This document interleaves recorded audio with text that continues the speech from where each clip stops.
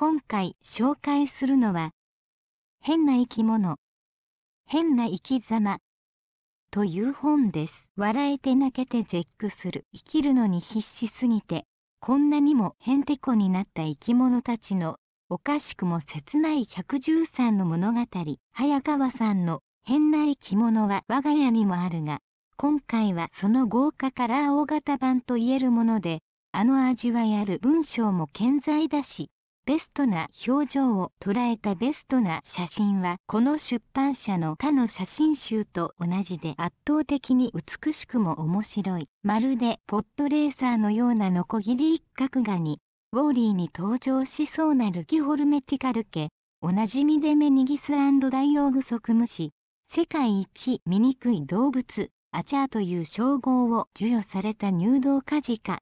出来損ないな SF ロボみたいなクマムシ。とうとうどっこい生きてる個性的すぎる面々が集合した。傑作写真集。暑い夏これ見て読んで想像の羽を伸ばそうではありませんか。おすすめ。以上。興味のある方は実際の商品を Amazon などでご確認ください。今回は最後までお付き合いありがとうございました。よかったらチャンネル登録をお願いいたします。